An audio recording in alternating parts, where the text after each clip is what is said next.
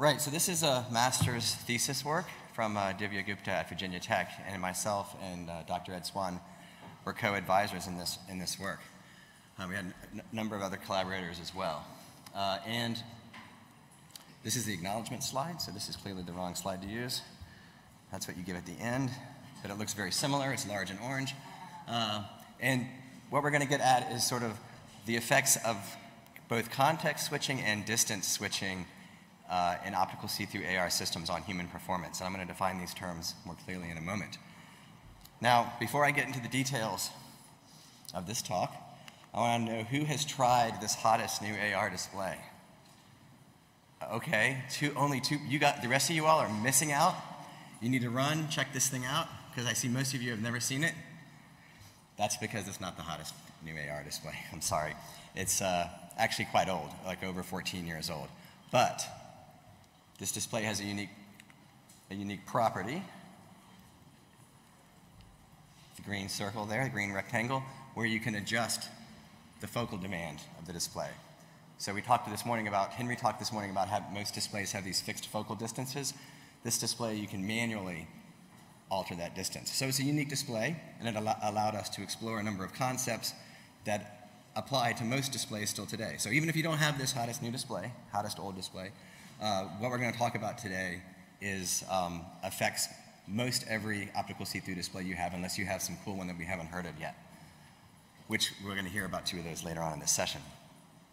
So just general context setting, as we use AR, and I think Henry laid this out nicely in the keynote this morning, we are simultaneously perceiving both the AR and the real world. And this is especially true in integrated visual tasks, tightly integrated visual tasks. I mean, if you play an AR game, uh, you, you might attend to the graphics more, but there are settings, and some of them important safety critical settings, where attention to detail, fine detail in the real world and the graphics is going to be re really important. But we have these fixed focal distances uh, that sort of get in the way. And in fact, what happens ultimately is as you use these displays, you end up accommodating from far distances to near distance to the focal plane of the display, for example, and then maybe back again, and back and forth, and back and forth. And depending upon the size of that demand, it can be quite fatiguing and cause many other problems that have been noted in the literature. These are just a few. Now, these problems listed here are not in AR. These are in other domains where researchers looked at accommodation and the notion of switching, uh, sorry, uh, accommodating at different depths and the effects. And so what we wanted to do in this research was look specifically at, at, at, at these same problem in AR. So let me define context switching. The way that we use it in this paper. Essentially, it's the notion of switching your visual attention and a portion of your cognitive attention, your cognitive uh, affordances, switching those from one context to another. And in this simple example, you might have a surgeon that's switching context between a, a patient and some wall-mounted display. I, I, purposefully did not use AR in this example. And that, this, this notion of switching context between information displays and patients is separate really from the distance at which both of those things are placed. Now, in AR, we can think of this context switching as moving between the real world and the virtual world because they are, most of you all have used these displays, right? There's a kind of a qualitatively notable difference in perceiving the real world in the, and the AR. They're not, the AR is not so good that it, it seems like it's the real world. Uh, at, even at a physiological level, it's not happening. So we wanted to look at this notion of context switching when I have to go from graphics to the real world. We wanted to look at these concepts separately, context switching, focal distance switching on human performance, especially when the visual search tasks are tightly coupled. This is our visual search task. It's a simple uh, structured search task where you have a block of text on the left and a block of text on the right. The block of text on the left contains a target letter. You find the target letter by identifying the double letter. Maybe you guys can find the double letter. And then you go to the right block of text and you count the number of times that target occurs. So this is the kind of psychophysical task you do in the lab, right, to understand the underlying phenomenon. Now, once participants did that task, the block on the text on the left would change. You have, so you have a new target to identify, and then you've got to switch back over to the right and count targets again. And we gave participants 25 seconds to identify up to five subtasks. So this is important to note that it was a time pressured tasks, task that required switching between two blocks of text. And we could place those blocks of text in different domains. We could put them both in the real world. We could put one in AR, one in the real world, and look at these different things, which is what we did. So when there was no context switching for this work, we define that as put the left block of text on a monitor, put the right blocks of text on another monitor. This, is a, this photograph was taken in a, in a lit setting, but the experiment took place in a dark setting. Uh, and we sort of call this, there's no context switching because we're staying in the real world. I understand that you could argue the monitor is a digital device and maybe that's a virtual thing. We could have printed papers out with text and all that, but we chose to use the monitors as a, as a stand-in for the real world. I think there's arguments to be made that that's fine.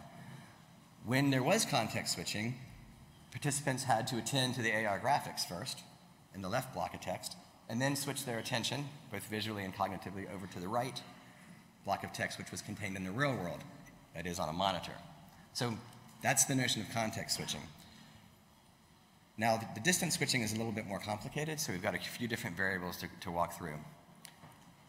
I apologize for the poor luminance contrast here. So on the bottom, we have our monitor, where people would attend to real world text. And on the top, for example, we have this virtual text that would need to be attended to. So we encoded, we had three different levels. For all of these variables, we had three different levels. We had a near, a medium, and a far distance of 0.7, 2, and 6 meters respectively. And we systematically, manip systematically manipulated all of these variables in this study. So the distance of the real world text is pretty straightforward, right? You move the monitor forward and backwards at these set distances, pretty straightforward. We had three different levels for the focal distance as well. Of course, in the real world setting, the focal distance is perfectly harmoniously matched to the distance to the actual real world object, the, the monitor in this case. But of course, for the monocular head-worn display, the focal distance was changed by that slider I mentioned earlier. And we, we did some calibration with the dioptometer to ensure that uh, we, we could set them at these fixed 0.7, 2, and 6 meter locations. And then lastly, we, we had virtual text. And so we, we drew virtual text the way that we, we all draw virtual text, right? So uh, it had all of the normal properties that you would have in text where if you, if you drew it farther away, right, it got smaller, and you drew it closer, it got bigger. Uh, and so that was controlled simply in the graphics software. Now these, these uh, the text on the, on the monitor actually affords a different set of depth cues, which is kind of of interest here, but not really the main story. Um, there's at least four main depth cues associated with perceiving the text on the monitor in the real world in this, in this particular case. So we're looking at stereo at, at the monitor. So we've got, of course, our binocular disparity. Then, of course, we get the, we get the nice, uh, because of that, we get the nice uh, ability to verge. Uh, and then, of course, parallax because we didn't lock our participants into a vice, And size. So kind of basically four cues. But up in this virtual text condition, we have a monocular display. So the, really the only primary depth cues available to participants were motion parallax and the relative size. And of course, the, the accommodative cues. So this is sort of the setup. We measured a number of things. We looked at the number of subtasks completed. Remember, people had up to 25 seconds to do five subtasks. We wanted to see how, how well did they do? Did they miscount the targets, for example? Did they undercount? Did they overcount? And, and they did. They undercounted. Now, every task, which was up to five subtasks, we asked uh, participants to self-report an eye fatigue rating. And we did this, this was done quite often. So if you, I forget how many tasks we had in, in, exactly, it was, it was a while ago, but there was a lot of self-reporting of eye fatigue. And, that, and it's a good thing we did that because we have some pretty neat sensitive data because of that. And then we asked some questions afterwards.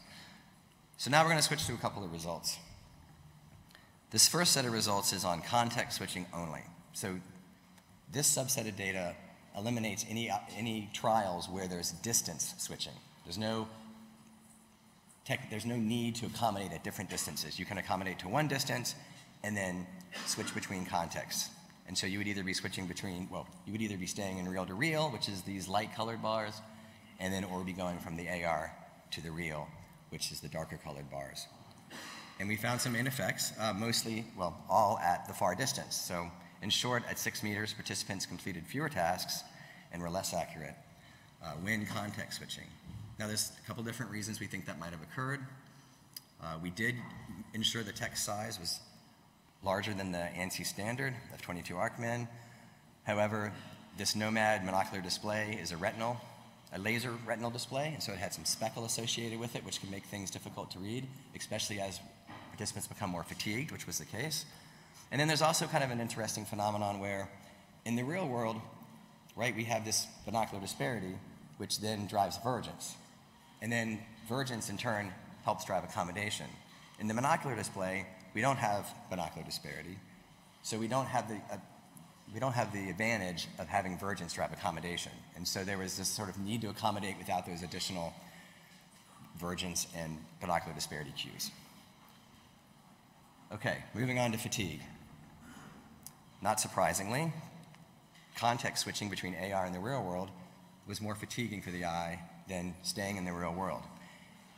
And this is, again, this is at shared focal distances. We weren't asking them to accommodate at different distances. We just wanted them to switch either from monitor to monitor or from AR to monitor. And the fatigue measures show that participants found task performance fatiguing when information was in sort of a real, real setting as opposed to the AR view. Okay, now we're going to go to the focus distance switching, which again has results that you might expect. Um, here we are manipulating all the different distances I showed in the earlier slide. And when we look at task performance, the number of subtasks completed as well as the accuracy, we have main effects. And again, not surprisingly, when you're forced to distance switch, right, you can get less subtasks done and you do them more poorly. And although this was shown um, in other domains, as I mentioned earlier, we sort of were able to quantify it in this, in you know, the AR, MR domain. And when we started asking ourselves, well, okay, why were there more errors? What was it about the experimental setup or the stimulus or the hardware that might have caused this? We looked at errors. Where do the errors occur? Now, there were uh, over 9,000 subtasks that participants completed, and about 89% of, of the total errors were undercounts. It kind of makes sense, right? You're, if you're counting those targets, you're not going to necessarily, probably not overcount them as much as you might miss one. So as an example, if you find their G here, and then you switch over to the right-hand side, and here you're distance switching and context switching, potentially, you count your Gs. Maybe you get three. Now, in the case where you're switching from AR to the real world and switching distances, your combination is, accommodation is occurring as you start to scan this text, is the hypothesis, especially under time pressure. So remember, we said you've got 25 seconds to do up to five subtasks. Go. And people were kind of looking back and forth. Now, this, this block of text would ch actually change after a subtask. I, failed to mention that earlier. So as soon as you complete a subtask, as soon as you hit this block changes, you find the new target, and then you count the, the number of new targets, and you've got up to five shots in 25 seconds. So this is time pressured task. And what we found was that, uh, that the, the hypothesis is, is that users were scanning the text top to bottom, left to right, very quickly because it was time pressured.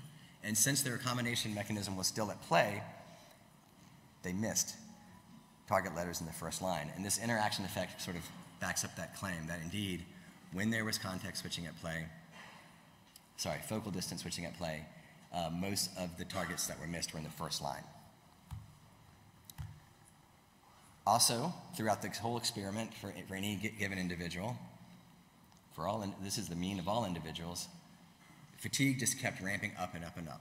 So this, this, the fact that we're demanding different accommodations and also having them sort of switch context was fatiguing. Okay, so recommendations. These aren't that earth-shattering, but I, am happy to say that we touched on something that Henry touched on, which sort of you know, makes me feel good inside, right?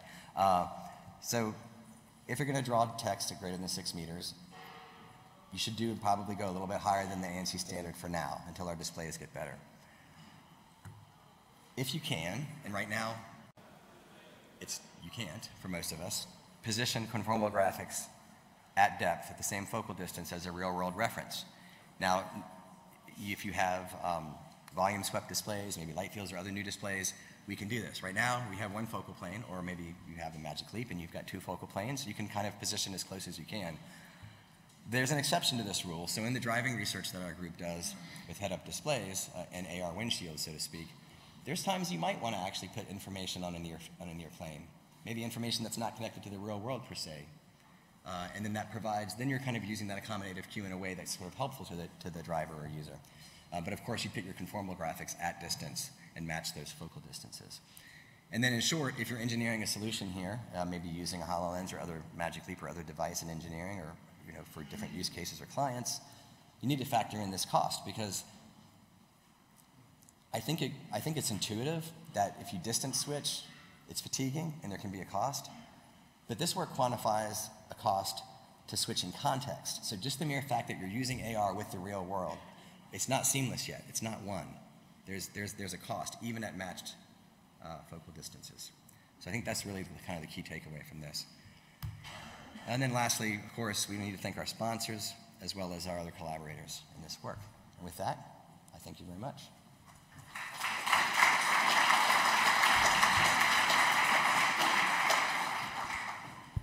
Great job, Joe. So Q&A, yes, there is already one.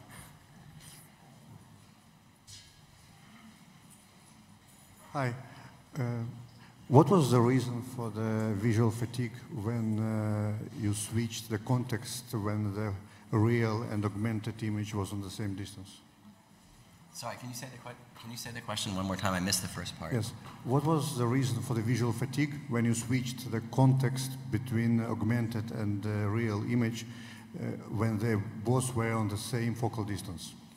Ah, okay. What, what is the explanation for fatigue? Uh, what is the theory at least? fatigue when um, going, doing context switching at matched focal di distances. Is that the question? Yes. That's a good, that, that's, that's a good question. Um, there is, our best, our best theory is it's the nature of this particular optical system in the display, uh, which, again, was this laser-based display. And if we had only measured people for a few trials, we might not have seen this effect. And I think also, um, since, well, we actually counterbalanced, we counterbalanced the, the, two different conditions, so I'm not sure we had a fatigue effect from the other set of trials. Um, we'll, we'll, we'll, get, this is, we'll get the co-author's perspective on this. And what the similar effects we found have been reported in the flight simulation community for all sorts of displays. So it's more complicated than just accommodation. Accommodation is certainly part of it. Right. Thank you.